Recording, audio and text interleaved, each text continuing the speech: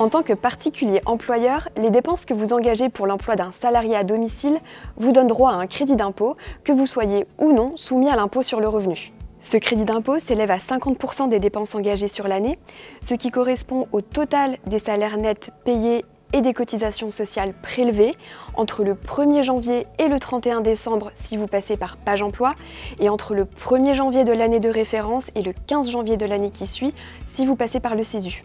Cet avantage fiscal est accordé dans la limite d'un plafond annuel.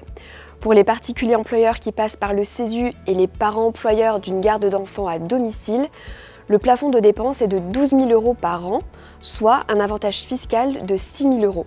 Ce plafond de dépenses peut être majoré en fonction de votre situation, en cas de handicap par exemple, et ce dans la limite de 15 000 euros par an. Pour l'emploi d'un assistant maternel via Page Emploi, le plafond de dépenses est de 2300 euros par an et par enfant gardé.